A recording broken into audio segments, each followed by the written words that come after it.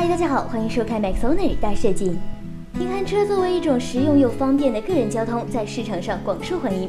不过，它们大多都是两轮一杆，依靠自身平衡得以前进。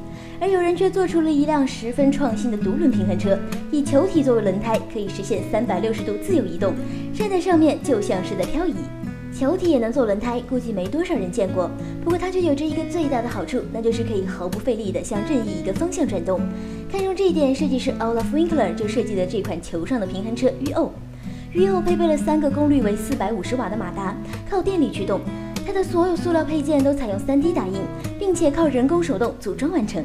该车使用起来也十分简单，你只要站上去，依靠自身保持平衡，然后就可以使用操纵杆进行方向控制。与传统平衡车不同的是，UO 可以带给你三百六十度无死角的方向移动，无论是向前、向后，还是横着、侧着、原地打转，它都能做到。而且骑上去就像是在滑雪或溜冰，甚至还能拥有漂移一般的奇特体验，十分有意思。虽然说球形轮胎看似不靠谱，但实际上却有着极大的发展空间，尤其是对于无人驾驶车来说。如此一来，停车就变得很简单了，分分钟侧移进入车位。